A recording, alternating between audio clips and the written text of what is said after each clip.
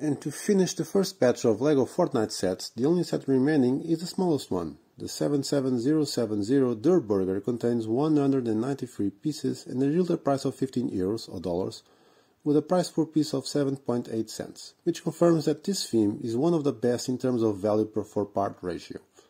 For those that do not know the game, Durrr Burger is a fast food chain that appears in several Fortnite universes, and this burger is its mascot, appearing as a display at the top of many of its restaurants.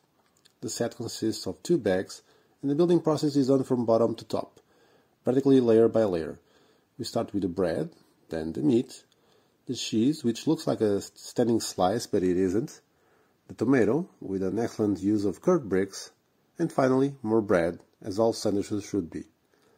In the last part there is space for the eyes, ingeniously well placed and which can be slightly adjusted, and finally a toothpick running through the entire sandwich just like you see in restaurants of this type, so that the burger doesn't fall apart. The only thing strange, but it's not regarding its design, but rather on the part of whoever designed the original Durrr Burger in the game. An olive in a burger? And here is the finished set. Of the four sets, this is perhaps the least appealing to me, but it gave me an excellent idea for a creation which I will try to make in the upcoming weeks. It has some new recolored parts, namely the ones used to make the bread, the several curved bricks and the octagonal plate in orange, as well as the tongue, are pieces that appear in new colors. For the rest, some useful elements like brackets and modified bricks. It is more elaborated than it looks, especially considering it's a 9 plus set. I like some solutions such as those used for the tongue and for the eyes, and the fact that it was very close to the image that appears in the game. When it comes to playability versus display and value for adults versus value for kids, this is clearly a display set, which seems a little odd considering it's a 9 plus set.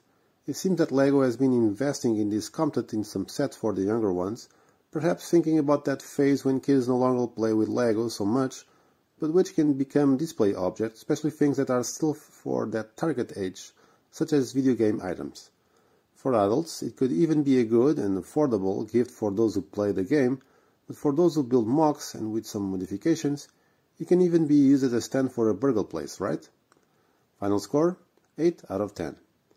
For those who play the game, if you register the set at lego.com using the QR code in the instructions, you'll receive the Bright Starter Pack in-game. When registering the set, you'll also be re redirected to fortnite.com slash redeem, where you'll receive a code that allows you to redeem this pack, which includes an outfit, a backbling, and 13 decoration items, the decor bundle. Of course, anyone who has already purchased the pack or items will not be able to receive anything else in return.